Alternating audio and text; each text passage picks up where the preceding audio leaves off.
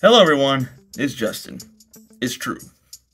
So, the first thing before we kind of venture off into the, you know, things that Christians need to do in order to be successful in what they're doing, because again, it's different principles that we have to follow than a lot of times what the world is.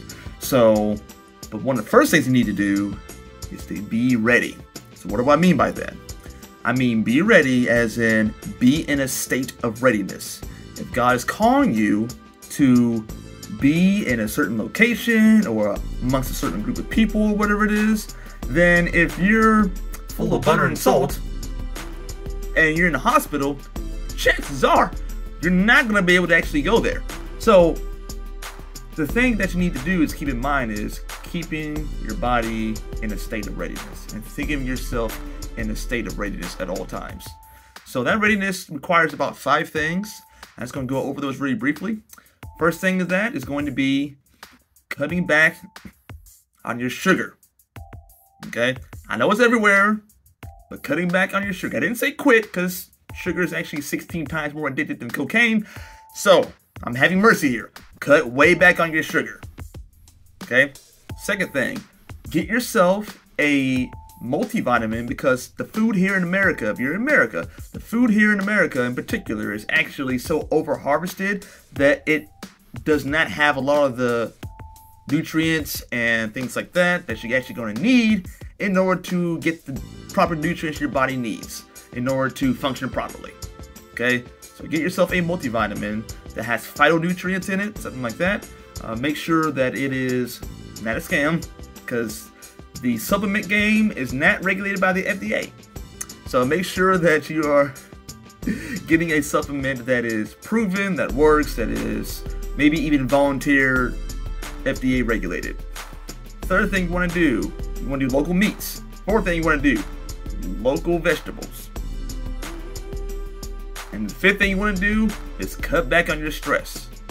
And the way that you cut back on your stress is that you fundamentally dwell and live by what God said, not by circumstances.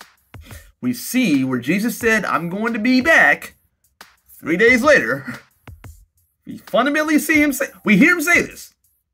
And they did not believe him and they went back sad and depressed after he was crucified because the evidence is not in the circumstance. The evidence is what has been spoken over any and all circumstances.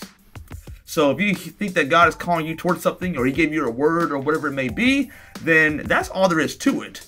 It doesn't matter the situation. If he spoke something like wealth over you, or whatever it is, it's impossible for you to be broke outside of improper management. But if you're on your assignment, if you're doing those type of things, it's impossible for that to happen.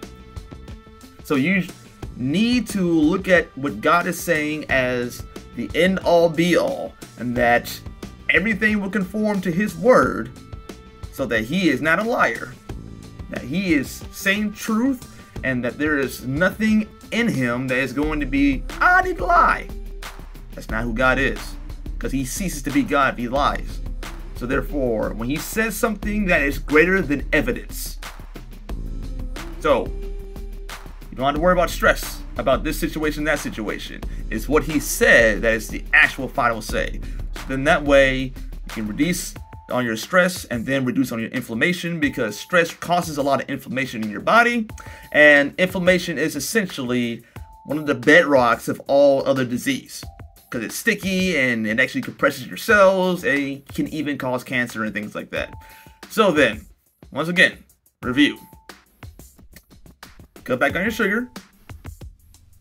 Get a phytonutrient multivitamin some kind of supplement local meats, local vegetables, and then reduce back on your stress. Or hang on the word of God. All right, that's my time. I'll catch you on the remix. Bye bye.